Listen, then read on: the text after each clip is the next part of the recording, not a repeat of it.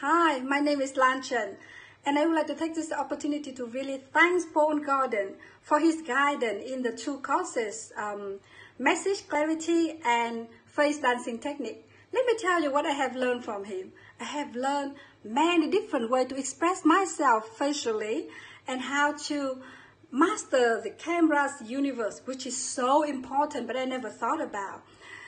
And with series of highly effective exercise, Paul has made it fun, easy to understand, easier to apply, and you can see your improvement so easily and so fast.